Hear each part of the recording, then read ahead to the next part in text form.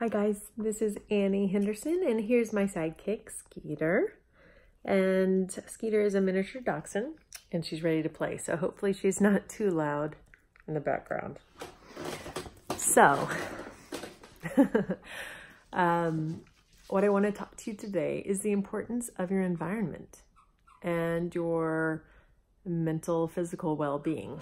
So I want to talk to you about a study um, it's an old study uh, with Skinner boxes is what um, it was called.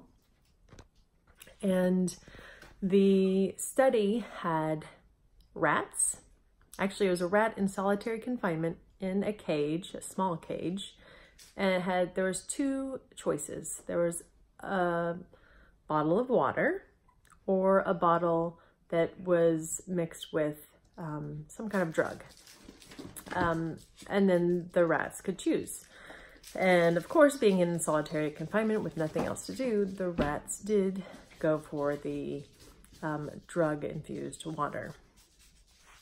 So they used that to think and to realize that um, drugs are very addictive and um, take, a, take a look at that one.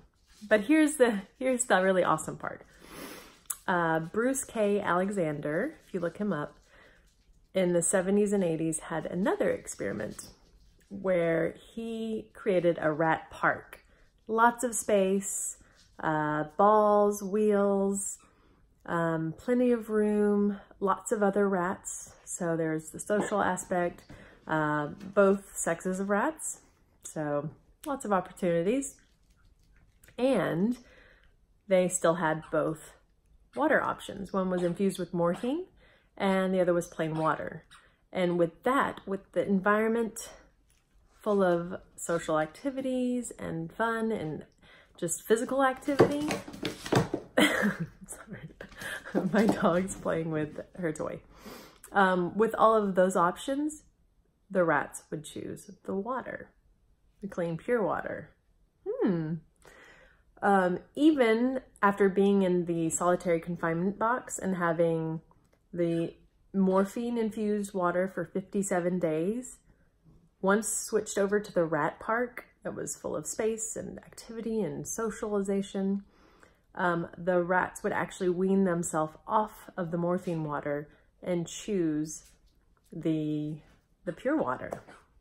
Isn't that amazing? Definitely look that up because I'm, I find it fascinating. But think about that and think about how you're feeling. Sometimes we do feel depressed or sad or, and sometimes it has to do with our thoughts and sometimes it might have to do with our environment and shifting our environment. So, um, if you don't do anything else with this information, just look it up because it's, it is very fascinating.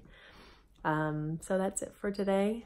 Uh, your challenge is find something stimulating in your environment, whether it's reaching out to friends or family or getting some physical activity in.